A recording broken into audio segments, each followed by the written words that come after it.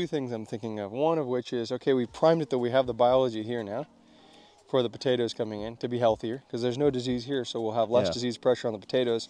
But then because of the changes in the soil texture, it's going to be so much easier to prep the beds and put the potatoes in. Yeah. Yeah. Like it's going to save a lot Yeah, of time, I mean, a lot of we've just- diesel. yeah, where we've just planted, we had big clods.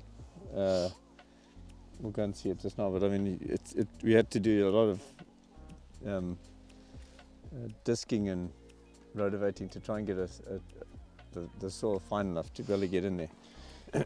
but yeah, I agree. Yeah, I- just uh, there's this huge, there's a huge difference. I mean, it's like, you know, sitting like this. Yeah, You know, it's just like that's more ordinary, and yet it still breaks it's apart. not. It's not like it's not like a brick. You know. and the, that's mag- probably the magnesium the has been the magnesium has made if it was still Mm. old soil it wouldn't have just done that you know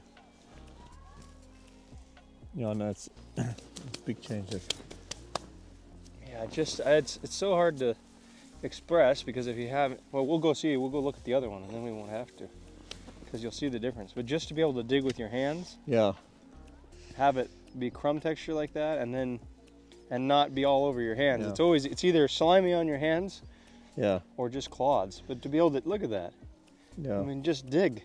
yeah no no if you go I mean in the maize there it, it won't be the same there Of course, it hasn't had water in ages. Eh? yeah no it hasn't Hey, thanks for tuning in and watching our content. We really appreciate you and appreciate you watching our videos. Please like and subscribe if you like what you're seeing here. Also, look down in the description down below for our website, uh, link to our Regen Agronomy podcast, and our phone numbers and email, etc. Reach out to us, please, if you want to know more about the content you see here in the videos.